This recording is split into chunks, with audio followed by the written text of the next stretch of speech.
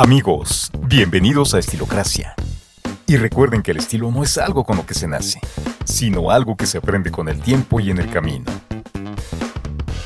Querido estilócrata, ¿te has sentido menos atractivo que otros hombres?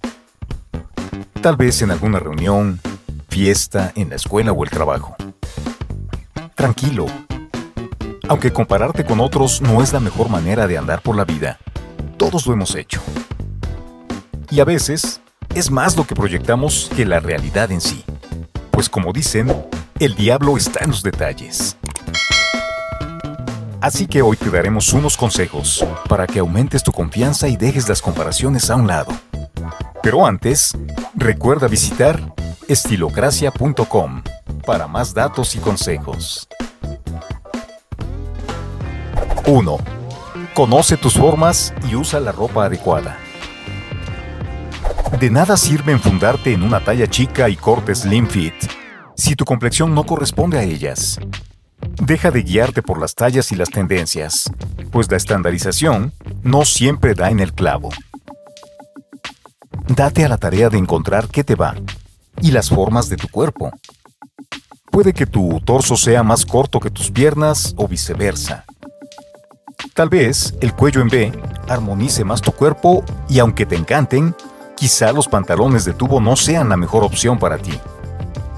Experimenta con estilos distintos y ve con cuál te sientes más cómodo. Entre más te conozcas, más sencillo será vestirte por la mañana y te sentirás más confiado al entrar a un lugar. 2. Buena postura.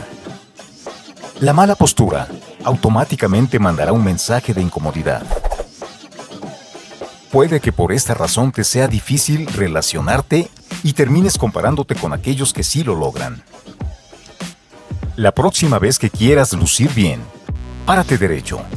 Pon tus hombros atrás como si quisieras que tus omóplatos se tocasen. Esto hará que el abdomen se vea más plano y la cabeza se irá hacia arriba, dando una sensación de mayor altura. 3. Huele bien. Así como las tallas, olvídate de las convenciones de los olores. Pues muchos antitranspirantes populares en realidad recuerdan a la secundaria después de educación física. Mejor atina a un olor agradable, ni muy potente como para inundar la habitación, ni muy bajo como para pasar desapercibido y que no te sirva. El buen olor aplica también en la boca. Sé muy consciente de tu higiene bucal Cepilla tus dientes de manera correcta y haz uso de herramientas como el hilo dental y el limpiador lingual. 4. Cuida tu pelo. El aseo debe ser integral. No olvides la buena limpieza del cuero cabelludo. Muchas veces se olvida y la acumulación de sebo y caspa pueden aparecer, convirtiéndolo en un problema de tratamiento médico. Para que esto no suceda, Lava a conciencia el pelo, masajeando el cuero cabelludo. Usa tratamientos para que éste no se reseque y sécalo de manera correcta, sobre todo si lo tienes largo. Esto para evitar la aparición de hongos.